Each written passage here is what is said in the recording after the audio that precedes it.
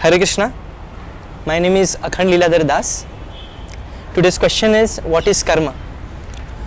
In usual terms, karma is referred to as actions or activities. There are some people who consider as fruits also. But in Vedic perspective, karma means actions done as per the Vedic, Vedic injunctions.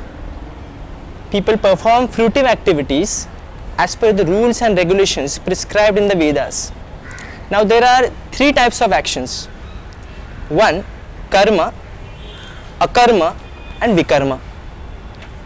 Karma refers to what I have earlier specified that karma means actions as per the Vedic scriptures. Whatever instruction given in Vedas, people follow it and they do their duties, prescribed duties as per the rules and regulations without you know going against it. That is karma. And the opposite of it, that is vikarma. That is 99% of the people right now, people are vikarmis, not karmis as such. Because they don't follow Vedic scriptures, it means they are going against, they are breaking the rules and regulations which are prescribed in the Vedas. That's why they are vikarmis. And the destination of vikarmis is very, you know, it's hellish. As it is said, Asurya namate loka andhena tamasavrita. Tam se pratyabhigachanti yeke chatma hano janah. People who are vikarmis, they enter into hellish planets, people of demonic natures. And the destination of a karma is that if they perform fruitive actions properly as per the rules and regulations, then they get the destination, higher destination, they may go to heaven. So now karma, karma, vikarma, and now left is akarma. This is the best form of activity.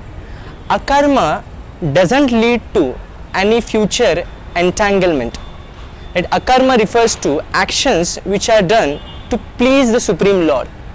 It is not for our selfish purpose.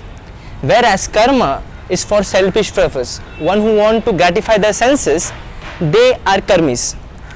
Although they want to gratify the senses, but at least they are better than the vikarmis who are not following the Vedic rules and regulations. At least they are coming under the circle of Vedic pervasion.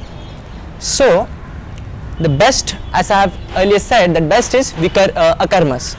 People who are actually devoting their life not to please the senses but to satisfy the Supreme Lord. That is best karma. Hare Krishna.